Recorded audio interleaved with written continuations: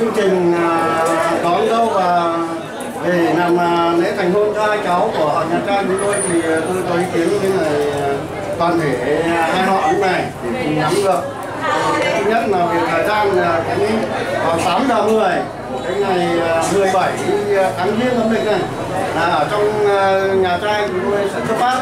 thì còn đến đây thì chắc là vào khoảng độ chưa đến 9 giờ, thì qua hai bên coi như thế làm các cái thủ tục để đưa đón người bạn bè của các cháu có sự chuẩn bị thì là sau khi nào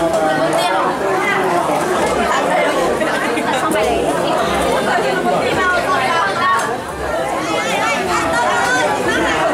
lấy có nói là từ 17 giờ tới đến 11 giờ trong cái khung giờ đấy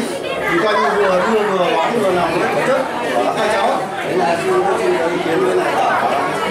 hai họ là như thế thì còn hôm nay thì trong